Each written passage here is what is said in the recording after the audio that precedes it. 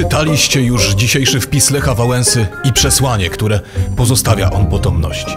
Jeżeli nie, to nasze spotkanie będzie dla Was powodem do wielu wzruszeń. Zajmiemy się bowiem pokrótce dwiema sprawami. Pierwsza jest związana z wypowiedzią Dariusza Marczyńskiego, dyrektora Departamentu Ochrony Ludności i Zarządzania Kryzysowego w Ministerstwie Spraw Wewnętrznych i Administracji, który w Sejmie zakomunikował, że zimą tego roku powinniśmy spodziewać się nowej fali imigrantów z Ukrainy. Mm, ten komunikat nie jest dla mnie zaskoczeniem. Informowałem już bowiem o tym w lutym, a następnie w kwietniu tego roku. Głęboko w kwestie energetyczne na linii Polska-Ukraina wchodził nie będę, bo chciałbym jeszcze trochę na świecie pożyć, ale o konsekwencjach działań podejmowanych od ponad pół roku przez Rosję na Ukrainie, a co za tym idzie, y, jakie koszty my poniesiemy, które znów będziemy musieli unosić wszyscy, czyli ja i ty, z pewnością powiedzieć trzeba i warto. Zaczniemy jednak od tematu bardziej doniosłego, czyli przesłania Lecha Wałęsy do nadwiślańskiego ludu. Tu Marek Miśko i kanał Marek Miśko Czuwaj, czuwaj w tygodniu o sprawach ważnych i pilnych, a za taką sprawę uważam właśnie e, zapowiedź kolejnej fali ukraińskiej imigracji do Polski. Witajcie i czujcie się jak u siebie.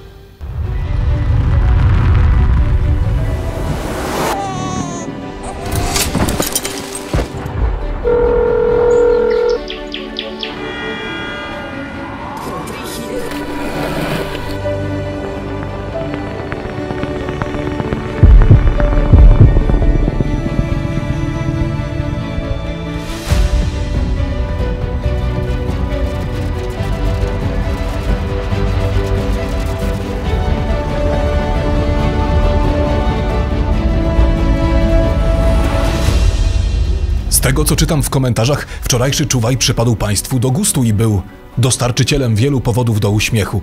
Bardzo mnie to cieszy, bo takie właśnie miałem założenie, pisząc i przygotowując wczorajszą audycję. Kto nie oglądał, zachęcam, naprawdę warto. Coraz poważniej natomiast zastanawiam się nad dodaniem do czuwaja takiej właśnie formuły, która będzie pewną intelektualną i humorystyczną zarazem odskocznią od codzienności.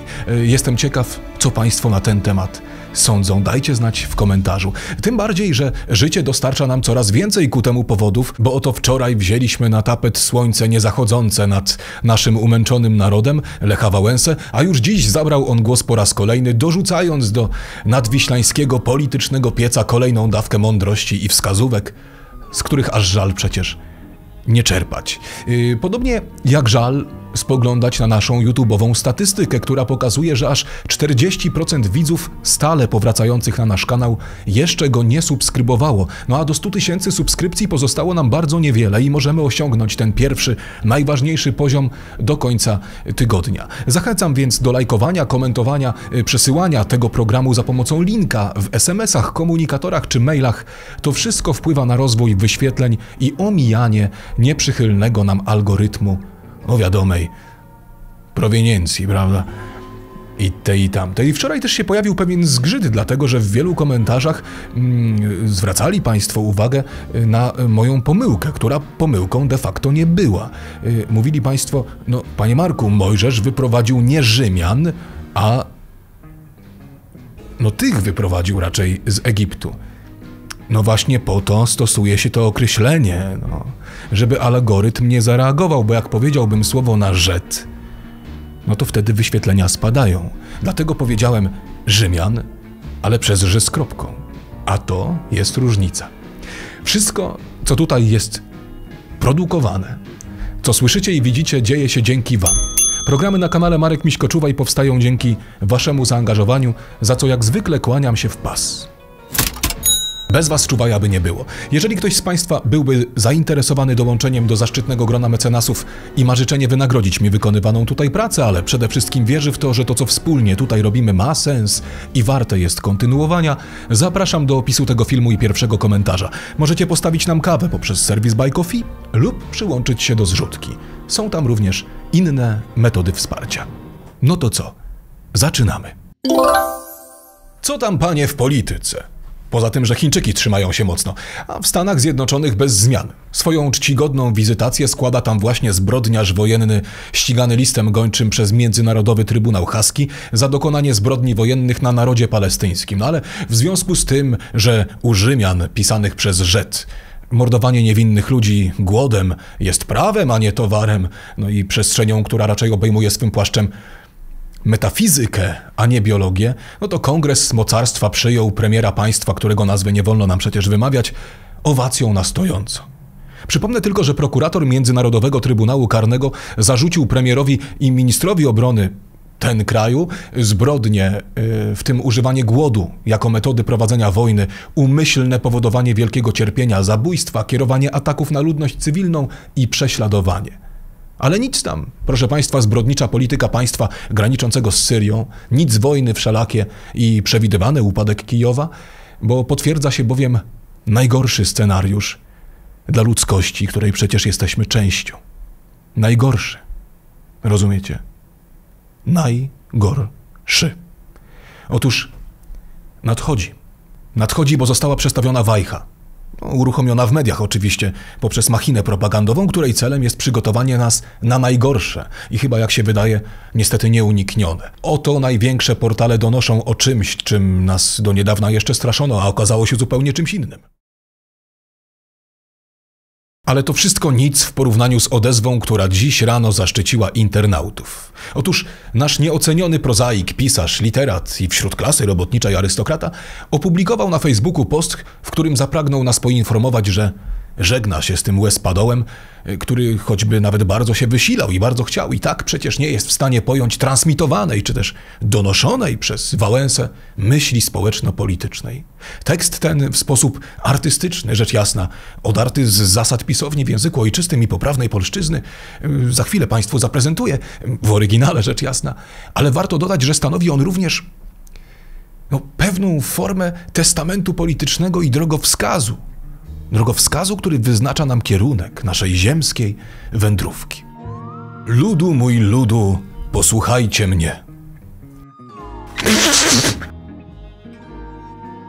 Muszą Państwo przyznać, że zaczyna się bardzo wzniośle i, prawda, pompatycznie, nie? Dlatego zabezpieczyłem się zawczasu w narzędzie do obsługi wzruszeń. Państwu też radzę. Kończę bytowanie na tym łespadole. Nie mam żadnego interesu. Na kolana więc, rodacy, dziękujmy opatrzności za to, że kolejny raz w historii otrzymujemy na trudny czas wspaniałych prowadzących, takich jak Tusk czy Bodnar. Dziękujmy za nich i nie przeszkadzajmy im w tak głupi sposób, czepiając się, że nie realizują obietnic.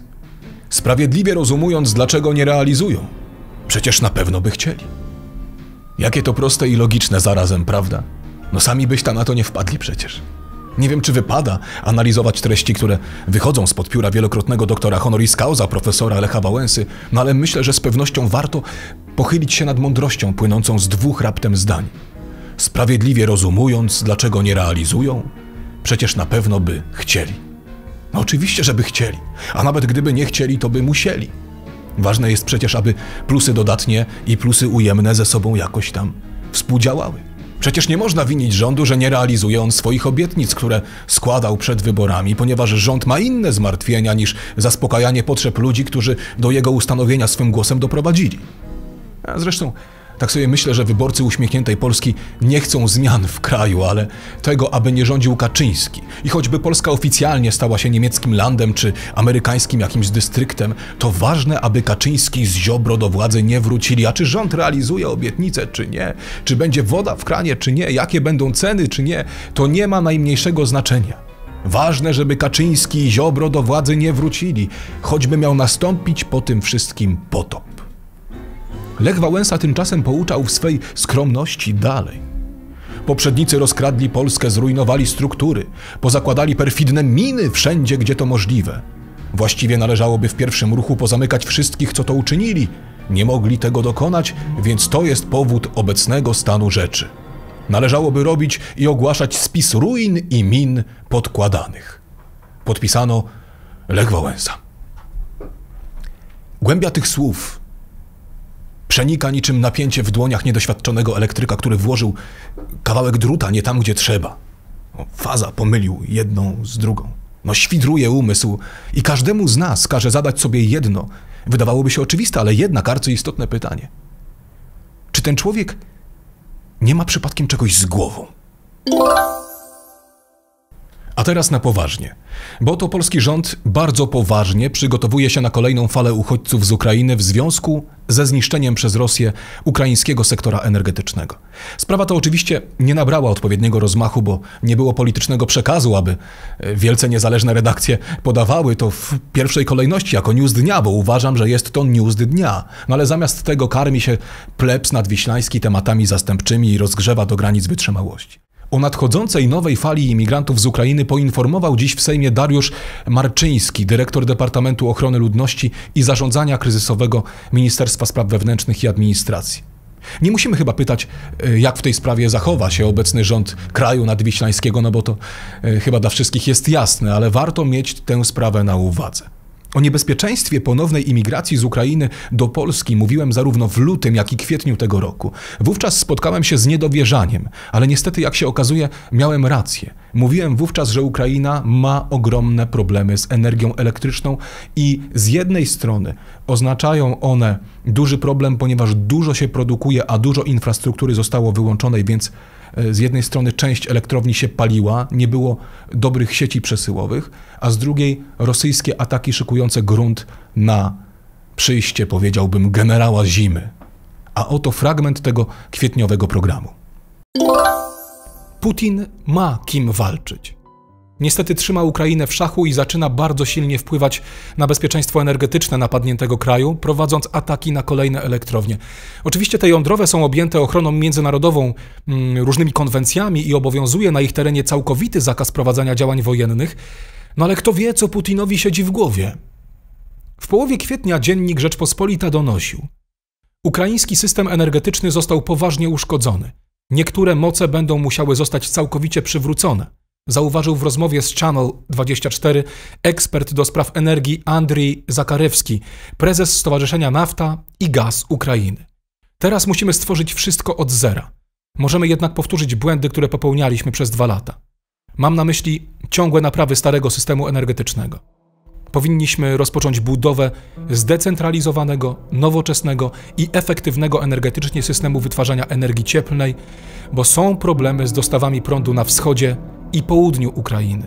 Trudność polega na małej liczbie sekcji transmisji. Przed rozpoczęciem kolejnego sezonu grzewczego należy odbudować i przywrócić system energetyczny. W przeciwnym razie Ukraińców czeka trudna zima. I o taką trudną zimę chodzi agresorowi. Przykładów na to, że czas ciszy przed burzą powoli dobiega końca, można mnożyć. W sobotnim odcinku wykazałem, jak wiele krajów Europy zaczęło przestawiać swoją gospodarkę na tory wojenne, a w tak napalonym piecu ogień jest w zasadzie nie do ugaszenia. Co będzie i jaką skalę może przybrać zbliżający się konflikt, rzecz jasna nie wiem, ale kto ma uszy, niechaj słucha. Ważne jest to, aby Rosja jak najdłużej zwlekała z atakiem na Kijów, a po samej akcji długo odbudowywała swój potencjał militarny i gospodarczy. To da nam więcej czasu, który Polska nie może po prostu zmarnować. W marcu tego roku polska agencja prasowa podawała za CNN. Rosja, która przestawiła swoją gospodarkę na tryb wojenny, prawdopodobnie wytwarza obecnie trzy razy więcej amunicji artyleryjskiej niż USA i kraje Europy produkujące z myślą o przekazaniu tego uzbrojenia Ukrainie, zauważyła amerykańska stacja CNN. Zakłady zbrojeniowe w Rosji pracują przez 24 godziny na dobę, 7 dni w tygodniu na 12-godzinnych zmianach. W sektorze produkcji uzbrojenia jest tam obecnie zatrudnionych około 3,5 miliona obywateli w porównaniu do 2-2,5 miliona w czasach przed inwazją na Ukrainę. Kreml jest w stanie wytworzyć około 250 tysięcy pocisków artyleryjskich w ciągu miesiąca, co daje liczbę około 3 milionów w ciągu roku. Tymczasem Stany Zjednoczone, państwa Europy, mogą w tym samym czasie wyprodukować zaledwie milion, dwa miliony, milion dwieście tysięcy takich pocisków na rzecz Ukrainy. I o tym poinformowali e, dziennikarze CNN-u, informatorzy z NATO. No i Rosja kontynuuje swoje działania przeciwko ukraińskiej infrastrukturze energetycznej. Według raportu rosyjskiego Ministerstwa Obrony od 13 do 19 lipca przeprowadzono 11 ataków wykorzystując broń precyzyjną i drony bojowe właśnie na te obiekty. Wyobrażacie sobie Kijów, który nagle zimą zostaje bez energii? Minus 10, minus 12, nie daj Boże minus 20 stopni. A jeżeli przyjdzie sroga zima, Nawet nie chcę o tym myśleć. Zachęcam Was do obejrzenia dwóch bardzo ważnych programów emitowanych w ostatnim czasie na Czuwaju, które w mojej ocenie wypadły całkiem poprawnie i mają naprawdę duży e, zasób zawartej tam wiedzy.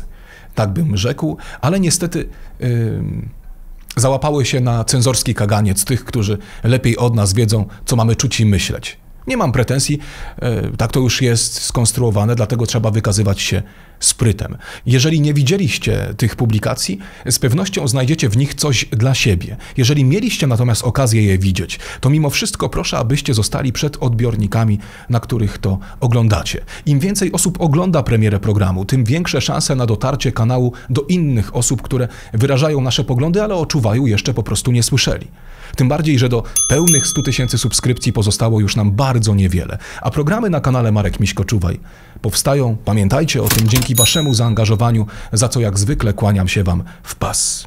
Bez was Czuwaja by po prostu nie było. Jeżeli ktoś z Państwa byłby natomiast zainteresowany dołączeniem do zaszczytnego grona mecenasów i ma życzenie wynagrodzić mi, nam, wykonywaną tutaj pracę, ale przede wszystkim wierzy w to, że to, co wspólnie tutaj robimy, ma sens i warte jest kontynuowania, zapraszam do opisu tego filmu i pierwszego komentarza. Możecie postawić nam kawę poprzez serwis Buy Coffee lub przyłączyć się do zrzutki. Są tam również inne metody wsparcia. Dziękuję za Wasz poświęcony czas. Zachęcam do pozostania, ale pamiętajcie, że ten czas jest dla mnie najcenniejszy.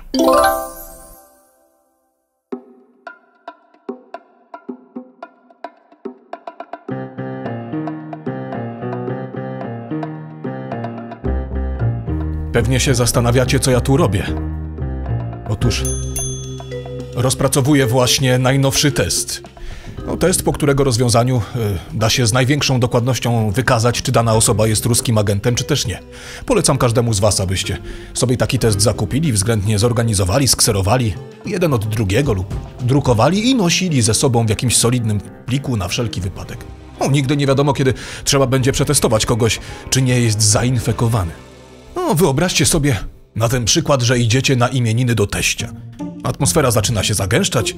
Patrzycie w telewizor, Niemcy przegrywają z Hiszpanią i odpadają w ćwierćfinale zawodów w piłkę kopaną. No i sport znowu staje się pretekstem. Stryj Mietek zaczyna więc robić aluzje polityczne do stylu uprawiania polityki pewnego Kaszuba z Sopotu, aż tu nagle ciotka Iwonka, będąca wyznawczynią innego lidera, innego stronnictwa, wyciąga najpoważniejsze działo. No i tak zaczyna się niuchanie agentów Putina przy rodzinnym stole. Wuj Kazio ma inne zdanie niż jego małżonka, ale po tylu latach małżeństwa nie chce mu się już nawet odzywać. Chłop mądry, wie czym to grozi, więc dla niepoznaki swojej żony nawet nie szuka wzrokiem. No i może być też tak, że padnie na was, że cień oskarżenia powędruje w waszą stronę. No i wtedy mówicie stop. Wyciągacie sobie, proszę ja was, karteczkę i dajecie ciotce do rozwiązania. Rozpoznawanie rosyjskich szpionów nad Wisłą przychodzi bowiem wielu osobom bardzo łatwo. Tak łatwo jak ich wykrycie za pomocą tego oto testu. Bo tak jak z tym testem, mniej więcej odbywa się to w Polsce. W kraju, w którym kretyni przejęli dyktaturę w społeczeństwie, a państwo istnieje teoretycznie. Chodźcie, chodźcie bliżej, pokażę wam, zrobimy to razem. Na początku zadajesz proste pytanie, y, bo oczywiście są trzy możliwości. Czy jesteś agentem Kremla? No, ktoś może powiedzieć od razu tak. Wtedy sprawa jest bardzo łatwa, ale należy uzyskać potwierdzenie. Może wyrazić też zdziwienie, wątpliwość, zapyta wtedy y, co? Oraz wyraźnie zaprzeczyć. Tutaj agentów najwięcej zazwyczaj wybiera taką oto formułę, więc przejdźmy od tej funkcji trzeciej. Na pytanie, czy jesteś agentem Kremla i gdy ktoś odpowie nie, wtedy zadajesz pytanie podstawowe. To jest nasza baza, od której powinniśmy zawsze wychodzić. Zadaj takiej osobie pytanie, czy lubi ruskie pierogi. Jeżeli odpowie tak, to sprawa jest bardzo łatwa. Od razu wiadomo, że jest agentem Kremla.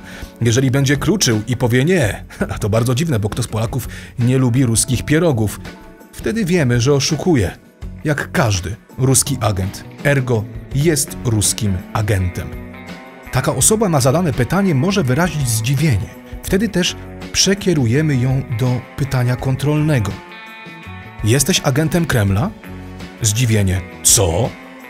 Zadajesz pytanie: A wiesz, kto to Putin? No, odpowiedź będzie brzmiała: Tak.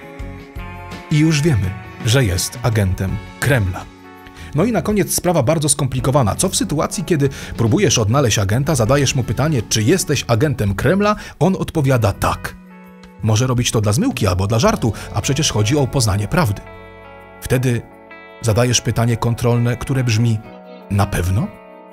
No, kiedy odpowie tak, no to wiadomo, że nim jest. A kiedy powie nie, zadaj pytanie: Czy wiesz, kto to Putin? Jeżeli odpowie tak, oznacza, że jest agentem. I ten oto test, wydrukowany w liczbie 20-30, powinniśmy nosić ze sobą do sklepu, do restauracji yy, i zawsze będziemy przygotowani, yy, jak rozpoznać yy, agenta. Czyli z kim mamy do czynienia. Czyż to nie proste? Wniosek jest więc prosty. Czyś murarzem, przyjacielu, wykładowcą, kolejarzem, czy na statku wilkiem morskim lub w teatrze inspicjentem. Twoje życie krąży dzisiaj wokół tego, czyś przypadkiem chociaż ciutkę nie jest, bracie, ruskim szpionem lub agentem. Zaczynamy. Może was zaskoczę, ale jedno jest pewne. Kiedyś, a przewiduję, że nastąpi to raczej prędzej niż później, wojna na Ukrainie się zakończy, choć nie do wszystkich to dociera. No i wtedy do stołu zasiądą przywódcy Niemiec, Francji, Ukrainy i Rosji. Zasiądą państwa poważne, bo wojna jest tylko elementem politycznej rozgrywki. Bardzo krzykliwym, często niesprawiedliwym, gdzie jest dużo bólu i cierpienia, zauważalnym, no i nie dającym o sobie zapomnieć, gdy trwa, rzecz jasna, ale tylko pionkiem na szachownicy. Więc kiedyś to się zakończy, a w jaki sposób ciężko jest mi orzec. No ale logika podpowiada, że Rosja nie wycofa się nigdy. Wycofanie Rosji z tego konfliktu jako mocarstwa, które przegrało, nie wchodzi w grę i kropka. Tak uważam. Bo oto Rosja miałaby pokazać, że przegrała ze zorganizowanym Zachodem, że imperium, państwo, które dysponuje bronią atomową, przegrało? Sami wojnę wywołali i ją przegrali? Wszystko to jednak trwać w nieskończoność nie może. Nikt po prostu nie ma na to pieniędzy i Orban ma rację. Na wojnę nie stać już Rosji, nie stać Niemiec, Francuzów, ale i Polski. Międzynarodowa Agencja Energetyczna poinformowała w maju tego roku, że sytuacja na rynku ropy naftowej staje się coraz bardziej dynamiczna. Okazuje się, że w kwietniu dochody Rosji z eksportu zmalały o 6,5%, osiągając wartość 17,2 miliardów dolarów. No i to jest rzecz dotycząca Rosji, że tam zaczyna się dziać źle, więc Rosji po prostu powoli nie stać na tę wojnę.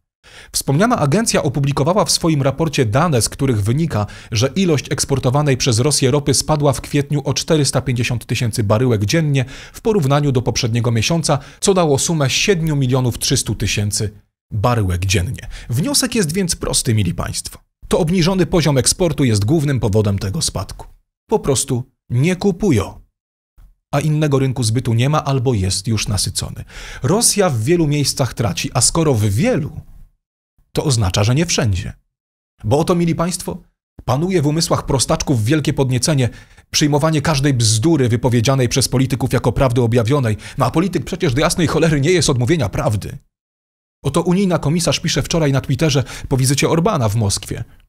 Uspokojenie nie powstrzyma Putina, tylko jedność i determinacja utorują drogę do wszechstronnego, sprawiedliwego i trwałego pokoju na Ukrainie.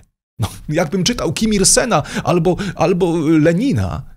To jest jakiś język y, bolszewicki, nowomowy. A co stoi za tym językiem? Interesy. Interesy, a nie żadna tam troska o sprawiedliwość, wszechstronność i pokój. A jakie interesy ktoś powie? Przecież embargo na rosyjską ropę i tak dalej. No to popatrzmy na to. Bo kto by tam zaglądał przecież na zawodowe, branżowe portale, prawda? Ważne, co tam gada Cholecka czy Tadla, do jednych czy drugich, aby ogłupić. Oto mamy więc rok 2024, czyli rozpoczął się trzeci rok prowadzenia tej nieszczęsnej wojny, no i prawie trzy lata od momentu nałożenia na Rosję sankcji. Aż tu nagle do 15% wzrósł import skroplonego gazu LNG z Rosji do Unii Europejskiej, wskazuje Reuters. Po agresji Rosji na Ukrainę Unia Europejska nie obłożyła embargiem importu rosyjskiego LNG. Rosja wysłała w zeszłym roku ponad 15,6 miliona ton surowca do portów Unii Europejskiej. Niesamowite, prawda? No to zobaczmy teraz, kto był i jest odbiorcą skroplonego gazu. Dane takie przygotował portal Forum Energii, do którego odwiedzenia zachęcam. Jest tam bardzo dużo ciekawych informacji. Więc oto mapa przedstawiająca import rosyjskiego LNG do konkretnych krajów. Czy Polska nie wygląda tutaj imponująco na tym diagramie? No zobaczcie, jak się uniezależniliśmy od skroplonego gazu, który jakoś się nie uśmiecha, prawda? A teraz jeszcze informacja, kto wspiera tę rosyjską machinę wojenną, bo oto Money.pl podaje. Od dokonania przez Rosję inwazji na Ukrainę w lutym 2022 roku z Polski popłynęło za rosyjskie LPG około 3 miliardy złotych do Rosji. Miesięcznie średnio wydawaliśmy 280 milionów złotych na LPG, przy czym jego zakupy nie zostały ograniczone po inwazji Rosji, a wręcz wzrosły i podobne zjawisko obserwowane jest również w krajach bałtyckich. A oto najwięksi importerzy rosyjskiego LNG w Unii Europejskiej, czyli w porównaniu z poprzednią grafiką, ci, którzy importują, ale niekoniecznie z tego gazu korzystają, tylko wprowadzają go na przykład dalej w obieg. Więc oto mapa największych importerów rosyjskiego gazu skroplonego w Unii Europejskiej. O, Hiszpania na tym tle świeci się jak psu. Miska. Po uprzednim przez tegoż psa wylizaniu. I co ma to politycy hiszpańscy? W tym samym czasie, gdy ich kraj był i jest największym beneficjentem rosyjskiego gazu skroplonego, mówili ustami swojej minister energetyki. W kwietniu tego roku Money.pl, powołując się na Reutersa, pisał – Unia Europejska powinna uzgodnić wspólne stanowisko w sprawie sposobu, w jakim państwa członkowskie mogą zmniejszyć import rosyjskiego skroplonego gazu ziemnego LNG lub z niego zrezygnować. Wzywam do wspólnego podejścia w sprawie ograniczenia lub zakazu importu pochodzącego z Rosji. Jeżeli zrobiłaby to sama Hiszpania jednostronnie, mogłoby to mieć niewielki wpływ, ponieważ transporty można byłoby łatwo przekierowywać do innego portu Unii Europejskiej. Hiszpańska firma Enagas podała e, informację o imporcie LNG z lutego tego roku 2024 i z tegoż właśnie raportu, z tych danych wynika, Rosjanie zapewnili wtedy 512 milionów metrów sześciennych, to znaczy 16,9%. Y, zanotowali tym samym spadek o 1,6%. Natomiast Hiszpania odebrała w roku 2023 6,92 miliarda metrów sześciennych z Rosji. To wzrost o, uwaga, 25,9% w porównaniu z rokiem 2022, gdy już rok trwała wojna. I na tym polega Polityka, moi mili, na robieniu interesów, udawaniu głupich, zapewnianiu i wyrażaniu obaw. Ale na końcu trzeba robić swoje, to co przyniesie bezpieczeństwo własnemu krajowi i własnym obywatelom. Rynek LNG, jak piszą eksperci, w przeciwieństwie do dostaw rurociągami jest zglobalizowany, ale właśnie w ten sposób, że nie potrzeba rury. Bo to wszystko, te zakupy, można dokonać za pomocą, no oczywiście tam odpowiednich aukcji, giełd i tak dalej, ale one płyną do nas po oceanie za pomocą statków. Eksperci mówią również, że Francja i Hiszpania są wobec tego w stanie w stosunkowo łatwy sposób, yy, uzależniony jedynie przecież od podaży, wyeliminować rosyjski gaz. Ale brak sankcji na rosyjski gaz skroplony, czyli LNG, umożliwia całkowicie legalny import tego surowca, z którego z przyczyn ekonomicznych te państwa po prostu nie chcą zrezygnować i nie zrezygnują. Miały być sankcje i nie ma. No patrz pan, to jest ta Europa wieszająca psy na Orbanie? Europa tak bardzo zjednoczona przeciwko Putinowi, że Niemcy przenoszą do Chin swoje fabryki, aby korzystać bez wstydu i zażenowania z rosyjskiego gazu. Y, oczywiście agresja Rosji na Ukrainę stała się podstawą do pozytywnych również przemian, y, zmian w dziedzinie bezpieczeństwa energetycznego, na przykład w Polsce, bo, bo oto wiele krajów, w tym nasz, zaczęło dywersyfikować źródła swoich dostaw. Nieodpowiedzialnym było przecież przez tyle lat opieranie swojego kraju na paliwach dostarczanych w 80% czy tam nawet 90% z jednego miejsca i to jeszcze kraju, w którym y, dzieją się takie rzeczy nie do końca zrozumiałe przez Zachód. Na przykład wykorzystywanie y, podpisanych już umów i dostarczania gazu do tego, y, aby prowadzić politykę wojenną, tak? te słynne zakręcanie kurków. Również w tej ostatniej wojnie. A wiecie, co wydarzyło się w moim przekonaniu ostatnio, jeżeli chodzi o Orbana? Skąd ten skowyt na wizytę premiera Węgier w Moskwie? Ponieważ na miejscu Węgier nie byli ani Niemcy, ani Francuzi, ani Anglicy, ale właśnie byli to Węgrzy. Popatrzmy na tę sytuację logicznie. I żeby była jasność, jak działanie Orbana się zakończy, po prostu nie wiem. Jest tutaj zbyt dużo zmiennych. Czy ma rację? Też do końca nie wiem, bo nie jestem ekspertem od polityki węgierskiej. Ale widzę to w sposób następujący. I możecie się z tym zgodzić lub nie. Tutaj wchodzi już w grę oczytanie, wiedza, którą się zdobywa e, za pomocą komunikacji e, medialnej, internetowej oraz zwykła ludzka logika, chłopski rozum i obeznanie w temacie. Oto na politycznej europejskiej scenie pojawił się nowy, krnąbrny, w ich rozumieniu rzecz jasna, gracz, który bez względu na to, czy ma rację w swoim działaniu, czy też nie, zaczął prowadzić politykę, która zaskoczyła unijną wierchuszkę. O cholera, czy ja powiedziałem właśnie słowo wierchuszka? Może to sprawdzimy dla pewności jeszcze. Oto na politycznej europejskiej scenie pojawił się nowy, krnąbrny, w ich rozumieniu rzecz jasna, gracz, który bez względu na to, czy ma rację w swoim działaniu, czy też nie, zaczął prowadzić politykę, która zaskoczyła unijną wierchuszkę. Wierchuszka. Etymologia słowa. Wierchuszka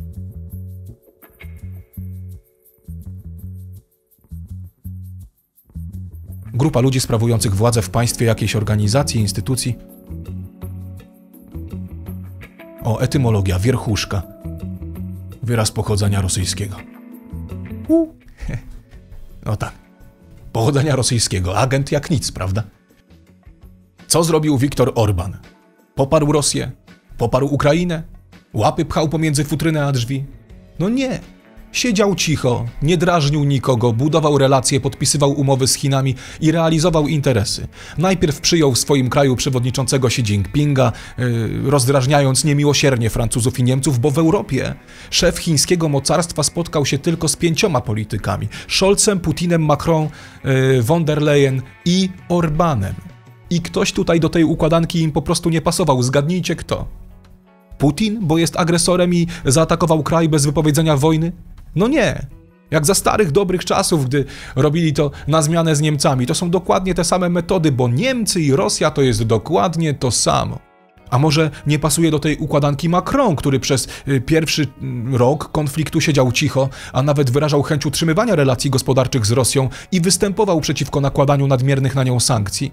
No ale zdanie zmienił dopiero wtedy, gdy Putin za zgodą Chińczyków, którzy są właścicielami Afryki, yy, zaczął szarogęsić się w dawnych francuskich koloniach. W grudniu 2021 roku na stronach Polskiego Instytutu Spraw Międzynarodowych czytaliśmy, czyli na trzy miesiące przed wybuchem wojny. Mimo ostrzeżeń ze strony części ekspertów, prezydent Emmanuel Macron uważa, że bezpośredni dialog z Władimirem Putinem jest jedyną drogą do rozwiązania kwestii spornych. Władze Francji unikają bardziej stanowczej polityki wobec Rosji, obawiając się reakcji prorosyjskiej opozycji, osłabienia Francji względem Stanów Zjednoczonych i wzrostu znaczenia NATO. Więc kiedy Macron nie miał racji, kiedy był głupim politykiem? W grudniu 2021 roku, kiedy mówił, że jedyną, a jedyną oznacza, że nie ma innej, nie zostawił sobie tego marginesu i żadnej gwarancji.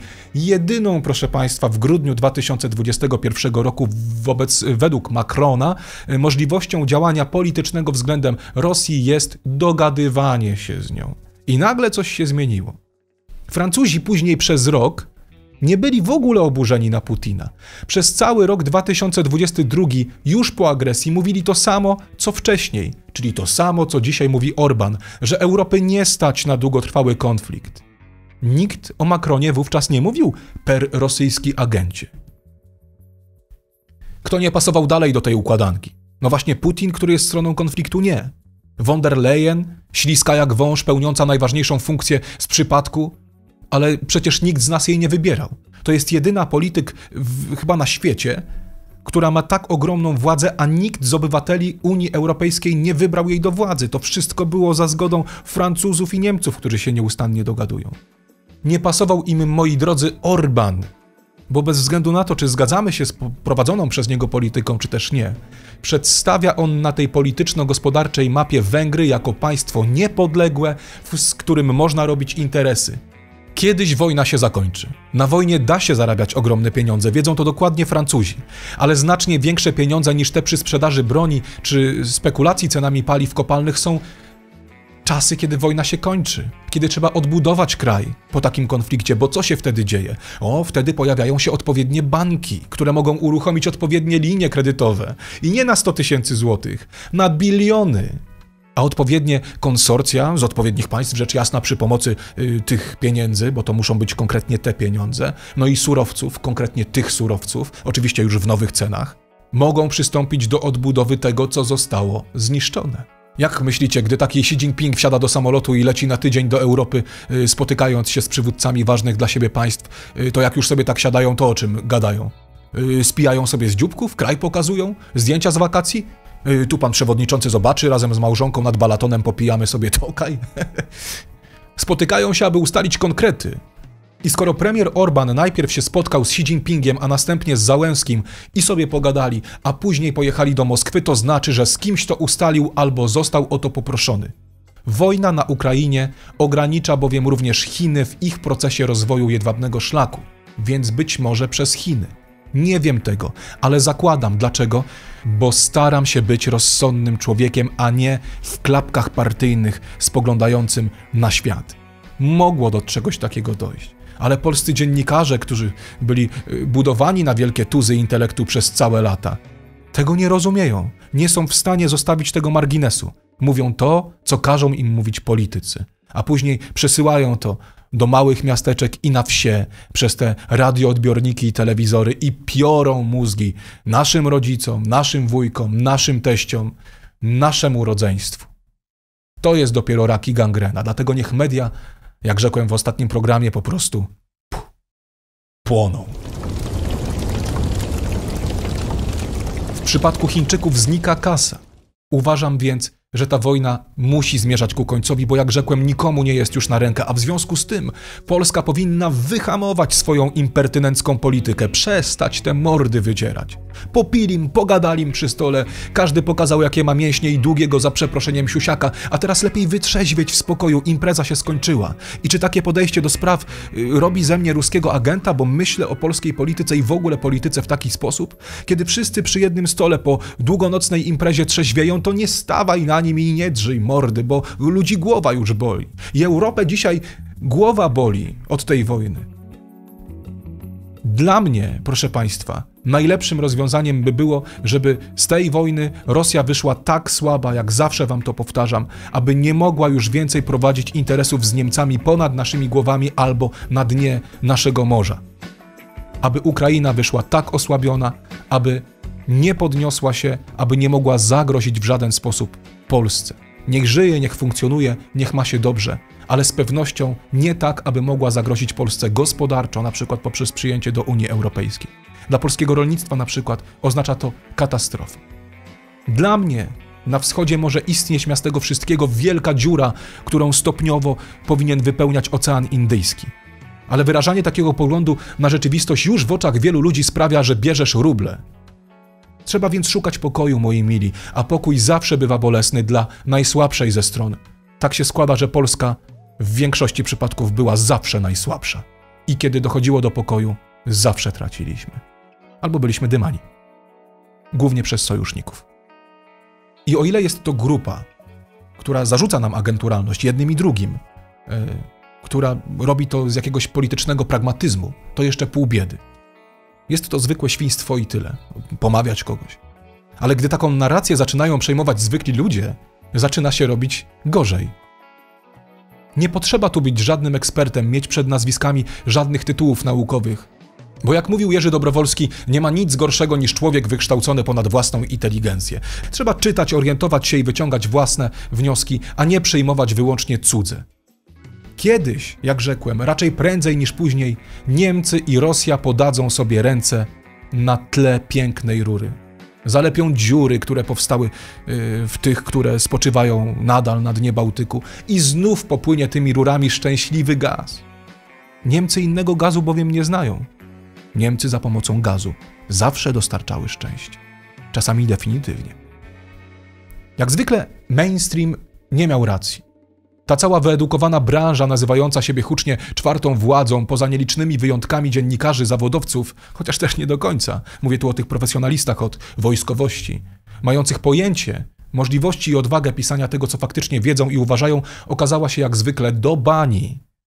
Jak bardzo bym chciał, żebyście przekazali ten y, program i ostatni czwartkowy do swoich znajomych, członków rodzin, którzy od rana do wieczora wpatrują się w ekrany y, w ładnie ubranych dziennikarzy z Warszawy, aby do tych ludzi właśnie dotarło, że ci dziennikarze nie mają nic w głowach najczęściej, że dziennikarstwa już nie ma, że nie mają oni wolnej woli, mówią to, co im każą lub to, na co im pozwolą, że tam często nie ma rozumu.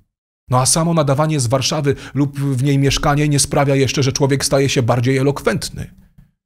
Śmiem twierdzić, że jest przeciwnie. Za chwilę jeszcze mocne uderzenie w części, którą nazywamy na odchodne, ale teraz obowiązkowe podziękowania. Pamiętajcie, że nasz czuwaj może nadawać tylko dzięki Wam, czyli naszym mecenasom, którym jak zwykle za zaangażowanie kłaniam się na początku audycji i na końcu w pas. Yy, ciekawostką właśnie jest to, o czym wspominałem z początku, że słuchają nas Polacy w Australii, w południowej Afryce, w Kanadzie, Stanach Zjednoczonych mm, i na takiej małej wysepce, ale nazwę tej wysepki jeszcze sprawdzę, jest ona gdzieś tam na oceanie spokojnym. Natomiast jeżeli ktoś z Państwa byłby zainteresowany dołączeniem do zaszczytnego grona mecenasów i ma życzenie wynagrodzić mi wykonywaną tutaj pracę, chce, żeby to studio rosło i wierzy w to, że to, co wspólnie tutaj robimy, ma sens i warte jest kontynuowania, zapraszam do opisu tego filmu i pierwszego komentarza. Możecie postawić nam kawę poprzez serwis Buy Coffee lub przyłączyć się do zrzutki. Są tam również inne metody wsparcia. A na odchodne. I widzieliście, czym zajmują się poważne państwa. Co robi Orban, jak wszedł do wielkiej polityki. A tutaj u nas stagnacja. Rozliczanie, spory polityczne, wyniszczanie, cwaniactwo, ogłupianie ludzi. Normalna katastrofa. Tak zaangażowaliśmy się w ten konflikt i zaprzyjaźniliśmy z Ukraińcami, że Narodowy Fundusz Zdrowia upada, socjal wydrenował nasz skarbiec, a w sondażu przeprowadzonym y, przedwczoraj przez Europejską mm, y, Radę Stosunków Zagranicznych na pytanie, kogo Ukraińcy uważają za niezawodnych sojuszników, czytamy: Wielką Brytanię, Litwę, Niemcy i Francję. Polska występuje w tym badaniu na szarym końcu. No tak, bo w końcu myśmy nic dla nich nie zrobili. Ani nie daliśmy im własnego grosza, ani schronienia, ani naród nie zaczął organizować im spania, ani państwo nie zaczęło y, organizować przestrzeni własnego kraju do tego, aby transportować tam broń. Nie wysłaliśmy naszej broni, rozbrajając w zasadzie całej armii, własnej armii. I nawet nie zasługujemy na jakieś podziękowanie. Nie domagajmy się więc wdzięczności od tych, którzy nie potrafią nawet przeprosić. I niech mówią ruski agent. Po prostu oceniam w ten sposób fakt. My zamiast wykorzystywać natomiast ten czas na bogacenie się, zbrojenie w ciszy, próbę rozwoju Polski, yy, podpieranie konstrukcji państwa, to najpierw bez reszty sprzedawaliśmy Amerykanom yy, i członkom nacji, yy, z której wyrasta rodzina Adama Michnika, yy, wszystko co polskie, a teraz robimy to samo przy pomocy Niemiec. Gdy świat mówi o gospodarce, wojnie, rozwoju, zbrojeniu, gdy państwa budują swoją podmiotowość, u nas mamy, proszę państwa, to.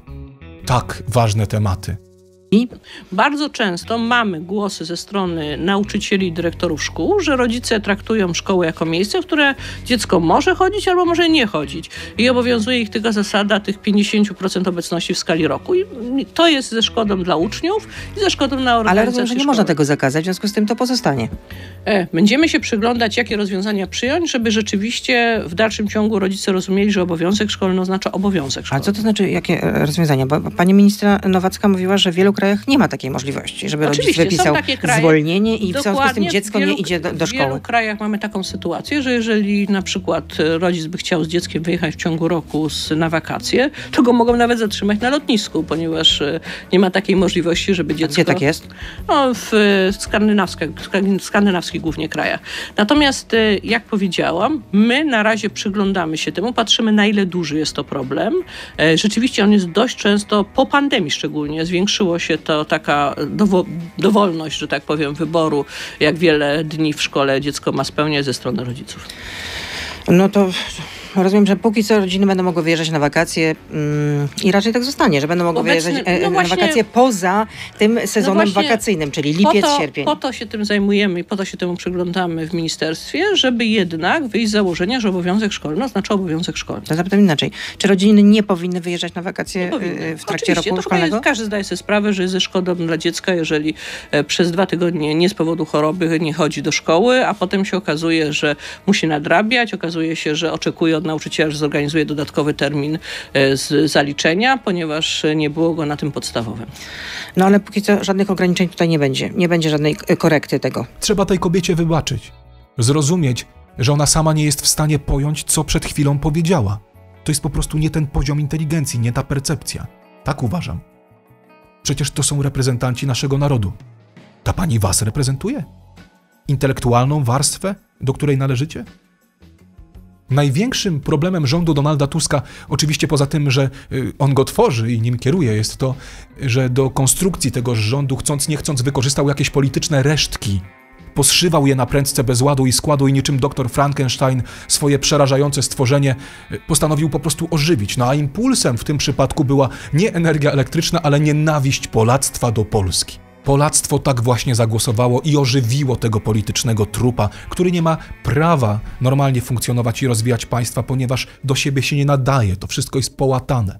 Trzecia droga, y, PSL, y, koalicja, lewica. Ci ludzie do siebie po prostu mentalnie nie pasują w żaden sposób, ale Polactwo właśnie postanowiło tego stwora ożywić. I gdy poważne państwa na pierwsze miejsce wywołują z szeregu swoich podstawowych potrzeb własną podmiotowość, tak my eksportujemy do polityki. Podsumowując moją wizytę w Bundestagu, widzę, ile jest tematów, które nas łączą. Chociażby podejście do ochrony środowiska, zadbanie o prawa kobiet i mniejszości oraz lepszy transport zbiorowy łączący nasze oba kraje. Jestem dumna z tego, że dwa lata temu głosowałam przeciwko reparacjom. Była nas tylko czwórka, a jednak czuliśmy, że postępujemy słusznie. Nie mam nic przeciwko zapowiedzianemu funduszowi dla żyjących jeszcze ofiar II wojny światowej. Dobrze, że będzie. Zobaczcie, pani Klaudia nie ma nic przeciwko. No jak słodko. Ktoś ją przecież tam wybrał. Przecież to nie ona jest winna. No, jakbyśmy osła postawili w parlamencie, to osioł byłby winien? Ci wszyscy kretyni, którzy oddali na nią głos. Polska polityk, która przeciwna jest odzyskaniu przez Polskę należnych jej pieniędzy za wyniszczenie całego kraju. No szkoda strzępić ryja. Proszę Państwa, prawdziwa zemsta Donalda Tuska to nie próba wsadzenia do więzień ludzi poprzedniej ekipy. Jeżeli okaże się, że Polskę rozkradali, niech siedzą na zdrowie. Nie jest nią też ustanowienie Romana Giertycha wielkim inkwizytorem tych rozliczeń, bo jak widać, nie popuści żadnemu z nich. Prawdziwą zemstą Donalda Tuska jest zemsta na Polakach. Za co? Za to, że Polacy wybrali do władzy PiS na 8 lat i zesłali go na polityczną banicję i jego środowisko i prawie je wyniszczyli i prawie uległo anihilacji. I ta nienawiść przejawia się właśnie w politycznym umocowaniu we władzy ludzi, którzy poprzez nazywanie się naszymi reprezentantami chcą nam odebrać godność. Ci ludzie nas ośmieszają, odbierają nam publicznie godność. Tam, gdzie trzeba się postawić, tam, gdzie obywatele oczekują wsparcia od państwa, gdzie powinni mieć zapewnioną ochronę, państwa nie ma. To znaczy, ono oczywiście jest, ale stoi po stronie silniejszych, również bandytów albo yy, sławnych i zasłużonych ludzi. Nadwiślańskie państwo, i tak od dzisiaj będę o nim mówił, przestanę mówić państwo polskie, bo po prostu nie godzi się zestawiać ze sobą obecnego stanu z tą szlachetną nazwą, imieniem naszej ojczyzny z tym paralitycznym jakimś tworem kierowanym od dekad przez tych samych strasznych i okropnych ludzi. A wy na nich głosujecie przez 30 lat. Żenujące.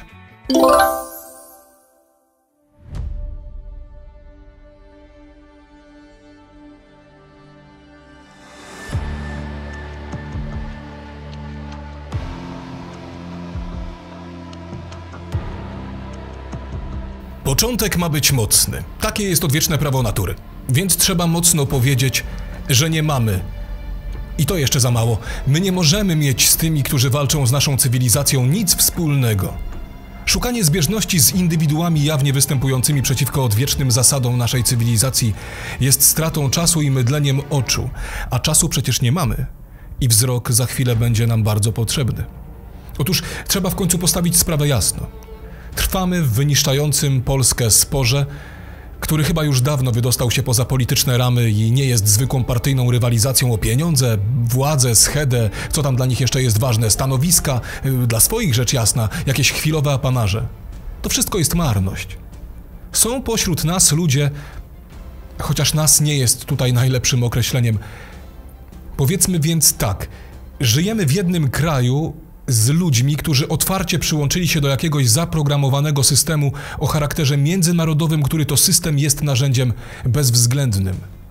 Mieliśmy tego próbkę w czasie y, tego, gdy straszono nas tym, co okazało się zupełnie czymś innym, no ale przede wszystkim w zmienianiu naszego kodu kulturowego, czyli cywilizacyjnego DNA. Żeby zniszczyć naród, trzeba zniszczyć rodzinę i odebrać ludziom Boga, czyli nadzieję i myśl, że świat został zaprogramowany w sposób idealny i istnieje sprawiedliwość, ale to my, jako ludzie, zwykłe, proste istoty, ten ideał niszczymy. A co należy zrobić, aby zniszczyć cywilizację, skoro już wiemy, że aby zniszczyć naród, należy zniszczyć rodzinę i wykluczyć e, z tego narodu Boga? Żeby zniszczyć cywilizację, trzeba rozerwać narodowe więzi, bo narody są dla cywilizacji tym, czym rodzina dla narodu podstawową komórką społeczną. Więc, żeby zniszczyć cywilizację, trzeba zniszczyć naród, a żeby zniszczyć rodzinę, trzeba zniszczyć naród. Ktoś powie, że gadanie takie kieruje nas w stronę wojny domowej. Spotykam się z takimi komentarzami. Ale my przecież żyjemy Żyjemy w jakiejś nieustannej i permanentnej wojnie domowej, która swoją skalą zniszczeń jest znacznie bardziej szkodliwa niż jakiekolwiek kryterium uliczne. Nie jest tak? Tu Marek Miśko i kanał Marek Miśko Czuwaj. Czuwaj w sobotę o sprawach społecznych i politycznych. Dziś postawię dwa bardzo ważne pytania. Pierwsze, czy jesteśmy w trakcie trwania wojny domowej? I drugie, czy jednoczenie się wokół narodów jest dziś wystarczające, aby dać odpór złu? Witajcie i czujcie się jak u siebie.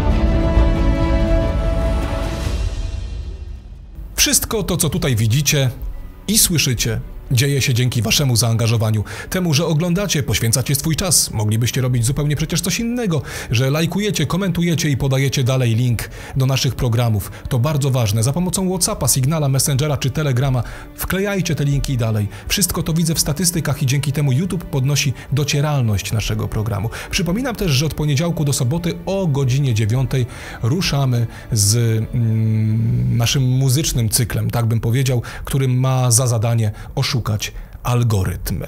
A programy na kanale Marek Miśko-Czuwaj powstają dzięki zaangażowaniu naszych mecenasów, którym jak zwykle kłaniam się w pas. Bez Was czuwaja po prostu by nie było.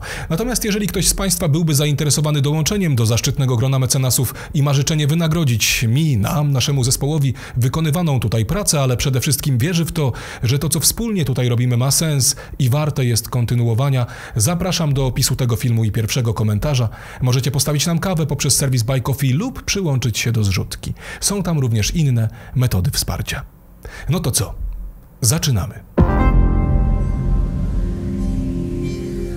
Coraz częściej zastanawiam się nad tym, czy wizja świata zaproponowana przez Dymowskiego, no właśnie, Dymowskiego, przypadkiem się nie wyczerpała.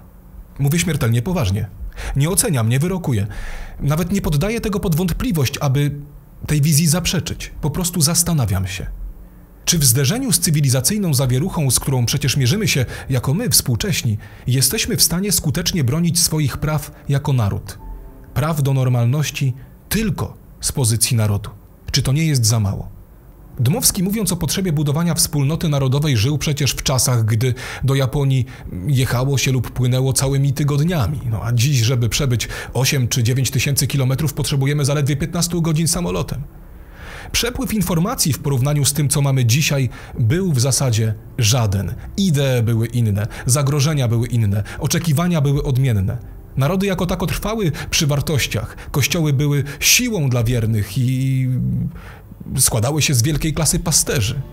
Nasi przodkowie wiedzieli, że przyparci do muru mogą odwołać się jeszcze do tej najwyższej instancji. No a dziś mówią, że ona nie istnieje i większość niestety takim argumentom nieistnienia ulega. Ludzie różnili się od siebie poglądami politycznymi, to oczywiście jest prawda. Często były to poglądy bardzo radykalne sanacja i endecja. Patrz przykład Polska. No ale cały czas były to jednak poglądy polityczne w ramach tej samej cywilizacji. Myślę, że nasz świat dzieli się dzisiaj już nie tylko ze względu na poszczególne, partykularne interesy, czy to polityczne, czy gospodarcze. Taniej kupić, drożej sprzedać, wyprodukować, zrobić yy, za pomocą pieniądza yy, taką sztuczkę, aby wymóc na sąsiadach podległość, pozostawiając ich rzecz jasna, tak jak Niemcy robią to w przypadku naszym, ze słodkim przeświadczeniem, że ta niepodległość jednak istnieje, że są niepodlegli. Bo co, nikt w szkole nie zabrania uczyć się dzisiaj własnego języka? Dziś nie trzeba czytać pana Tadeusza czy dziadów po piwnicach, a i tak wielu yy, cokolwiek w ogóle czyta. Trwa bowiem walka dobra ze złem. Wizją normalności, gdzie baba to baba, a chłop to chłop, gdzie dziecko to dziecko, dorosły to dorosły, a nienormalnością. Jej przeciwieństwem tej normalności. Że cywilizowane narody nie budują dzisiaj obozów koncentracyjnych czy kolonii karnych dla niepoprawnych politycznie? Ale moi mili, powstają za to znacznie gorsze obozy. Obozy, w których mają przebywać wszyscy, którzy mogą zagrozić ich systemowi, choćby myślą o dawnych dobrych czasach, gdy wszystko było na swoim miejscu. Oto Elon Musk. Zobaczcie, co napisał wczoraj na Twitterze, czy tam Xie. Komisja Europejska zaproponowała mi nielegalne, tajne porozumienie, gdybyśmy po cichu cenzurowali wypowiedzi, nikomu o tym nie mówiąc. Wtedy nie nałożyliby na nas kary. Pozostałe platformy zaakceptowały tę umowę. X nie. Słyszeliście o tym? Jak byście nazwali takie działanie Komisji Europejskiej? Po cichu cenzurowali wypowiedzi, nikomu o tym nie mówiąc. Tak wyglądają dziś współczesne obozy koncentracyjne, gdzie w zinformatyzowanym świecie, w którym przepływ informacji stanowi o polityce, o gospodarce, o masie innych rzeczy, nakłada się gaganiec poprawności, aby ludzie nie mogli się policzyć i w konsekwencji, żeby opadli z sił, sądząc, że w zdrowym myśleniu, które oni prezentują, są po prostu sami. Żebyśmy nie mogli się policzyć. Listy będziemy pisać, gołębie wysyłać. A jak człowiek jest sam, to co się dzieje? To ogarnia go beznadzieja. Znika chęć do walki, a nawet do obrony. Mamy się więc poddać jakiejś zbiorowej manipulacji i co ktoś teraz powie, że to jest teoria spiskowa? A przy ostatnim proteście dziennikarzy w Polsce, y, jakiego argumentu używała ta jaśnie oświecona grupa społeczna?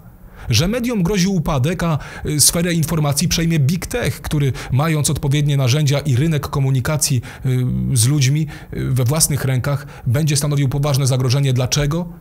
Dla demokracji. Więc nie można mówić, że nie istnieje jakaś grupa albo idea, wizja przyszłości przez kogoś zaprogramowana, której celem jest podmienienie nam świata z tego normalnego, który znamy, gdzie cieszymy się jeszcze resztkami wolności, gdzie jest gotówka, gdzie jest rodzina, samochody można kupić jakie się chce, gdzie babki kupują częściej sukienki niż chłopy, gdzie dzieci nie popełniają samobójstw na tak ogromną skalę, gdzie życie ludzkie jest pod ochroną od poczęcia do naturalnej śmierci, gdzie tragedia jest opłakiwana, a nie haftuje się za jej pomocą sztandarów zwycięstwa i macha na lewo i prawo, gdzie aborcja jest tragedią, a nie powodem do dumy jakichś rozhisteryzowanych bab, które mówią: Ja dokonałam pięć, a ja sześć. Boże święty, jak muszą wyglądać ich imieniny, o czym one tam rozmawiają? Ile wyskrobała? Za przeproszeniem, pfu. Świat, gdzie nie zmienia się kościołów w galerie handlowe, gdzie dorośli ludzie nie chodzą goło po ulicach przebrani za zwierzęta, gdzie nikt nie macha gołym tyłkiem w przedszkolach mówiąc, że jest spoko. Nie, nie jest kurwa spoko. I w Polsce jest masa ludzi, również u władzy, którzy do tego systemu albo zostali podłączeni z jakiegoś powodu, albo sami się podłączyli. O nich mówię, o wszystkich, którzy zaprzeczają naszej cywilizacji bez znaczenia, jakie kierują nimi pobudki, czy to są pieniądze, czy oni naprawdę w to wierzą, a może ktoś im grozi. To jest część narodu? Czym jest zbiór ludzi, który zwykliśmy określać narodem? Czy narodem możemy sobie szafować na lewo i prawo, używać tego sformułowania za każdym razem, y, kiedy chcemy ogarnąć wzrokiem lub myślami jakąś społeczność y, posługującą się tym samym językiem, zamieszkującą y, jakiś teren lub przyznającą się mniej lub bardziej do określonych barw i godła? Narodem są ci, którzy stoją na jednym meczu siatkówki, koszykówki, pożar się Boże piłki nożnej i krzyczą na całe gardło hymn? To już jest ten kwantyfikator, który pozwala nam mówić, że to jest naród, a to nie? Naród poza budulcem w postaci języka, wspólnych dziejów, poprawnie zdefiniowanego wroga, który cementuje naród, jest przede wszystkim wspólnotą celu. Nie tysięcy różnych celów, ale jednego celu. Oczywiście są różne drogi do takiego celu osiągnięcia. To zwykliśmy właśnie nazywać polityką, ale tutaj mamy do czynienia z czymś, co jest zupełnie inne, diametralnie się różniące. Oni nie idą w tym samym kierunku, w którym chcemy iść my. Zaczynam się poważnie zastanawiać i broń Boże nie mówię o tym mm, z pozycji jakiegoś ideologa nowego ruchu, który miałby dać podwaliny pod inną wizję rozpoznawania swoich. Za głupi na to jestem. Tak samo jak nie mam wystarczających umiejętności, zdolności, wiedzy i co ważne nerwów, aby zaangażować się w politykę. Znam ją bardzo dobrze. Znam osobiście wielu tych, którzy rządzili, rządzą i daj Bóg tych, co będą jeszcze rządzić. Ale myślę jednak, że wystarcza mi zdolności i percepcji, zdrowego oglądu spraw, aby móc logicznie za pomocą intelektu, nie emocji, kiedy emocje, wtedy emocje, ale intelektu, nie emocji, poddać pod dyskusję i wziąć w niej udział, stawiając trudne pytanie: czy naród w dzisiejszych czasach może być poprawnie zdefiniowany? A jeżeli tak, to czy nie jest to stanowczo za mało, aby dać odpór antykulturze? Dokładnie tej antykulturze, o której mówił świeć Panie nad jego duszą pan Karoń. Nie mówię tu o podważaniu istnienia narodu, jego wzmacniania, rozwijania i budowania jego jedności, ale tego, czy naród w zderzeniu z tym, co dziś na nas napiera, jest jednostką wystarczającą, aby dać sobie radę.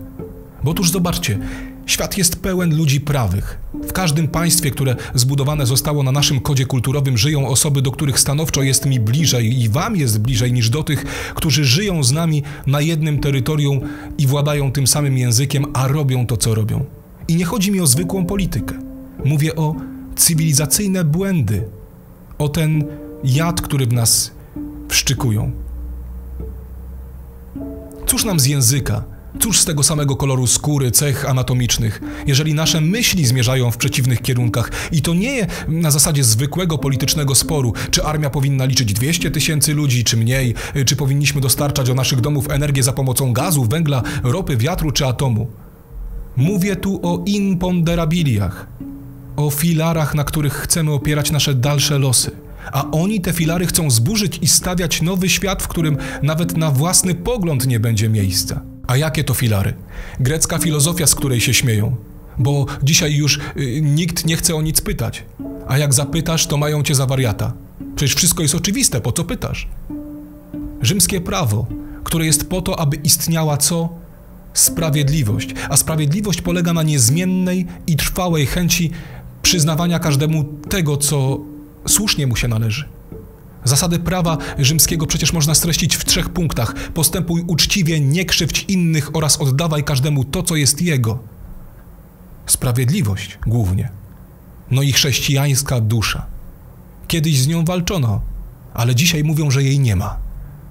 I ludzie w to wierzą, a skoro nie ma, to nie ma z czym walczyć. Po co walczyć? Środki, pieniądze. Duszy nie ma i nie trzeba wydawać pieniędzy. Ale dobrze, więc czy jesteśmy narodem w takiej sytuacji? Wszyscy. Tylko dlatego, że mówimy tym samym językiem. I czy nie jesteśmy w trakcie wojny domowej, znacznie straszniejszej niż ta, którą znamy z kart historii, chociażby z Hiszpanii? Czy wojna domowa jest dopiero wtedy, gdy, parafrazując Leszka Czajkowskiego, pysk lufy zostaje oparty o skroń?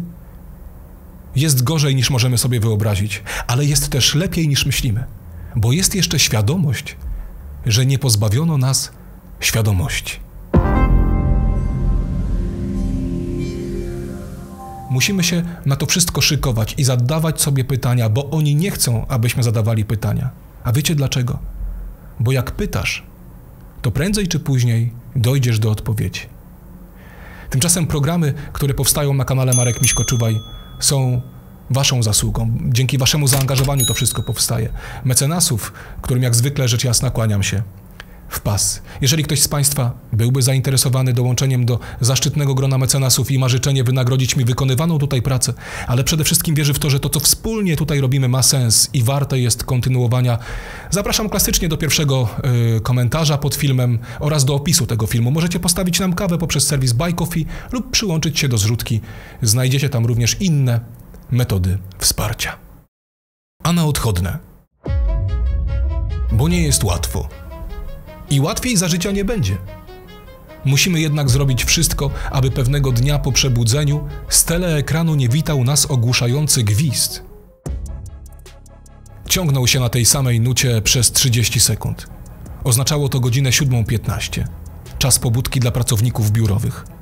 Winston zwlókł się z łóżka. Nagi, bo członkowie zewnętrznej partii otrzymywali rocznie tylko 3000 kuponów odzieżowych, a piżama kosztowała aż 600. I sięgnął po zawieszone na poręczy krzesła shorty i znoszony podkoszulek. Poranne podskoki zaczną się za trzy minuty. W następnej chwili zgiął się od gwałtownego napadu kaszlu, który prawie zawsze atakował go wkrótce po przebudzeniu. Tak mu później brakowało powietrza, że musiał się położyć, wziąć kilka głębokich wdechów, żeby móc znowu oddychać. Żyły nabrzmiały mu od kaszlu, a owrzodzenie nad kostką zaczęło swędzić. Przedział 30-40, skandował przenikliwy głos kobiecy. Przedział 30-40, na miejsca proszę. 30-40. Winston stanął na baczność przed teleekranem, na którym właśnie wyświetlił się obraz młodej kobiety, szczupłej, lecz muskularnej, ubranej w tunikę i sportowe buty. Zginanie i rozciąganie ramion, krzyczała. Ćwiczcie razem ze mną. Raz, dwa, trzy, cztery. Raz, dwa, trzy, cztery. No dalej, towarzysze. Raźniej. Raz i dwa i trzy i cztery. Raz i dwa i trzy i cztery. Ból wywołany atakiem kaszlu nie zdołał całkiem zatrzeć w głowę Winstona wyrażenia pozostawionego przez sen, zaś rytmiczna gimnastyka w jakiś sposób je nawet wzmocniła. Mechanicznie wyrzucając ramiona do przodu i do tyłu, z wyrazem ponurej satysfakcji na twarzy, pożądanym podczas zaprawy, próbował sięgnąć myślą niewyraźnych czasów wczesnego dzieciństwa. Było niesamowicie trudne. Przeszłość dawniejsza niż lata pięćdziesiąte blakła. Bo kiedy nie ma się żadnych zewnętrznych punktów odniesienia, zarysy własnego życia również tracą ostrość. Rozumiecie?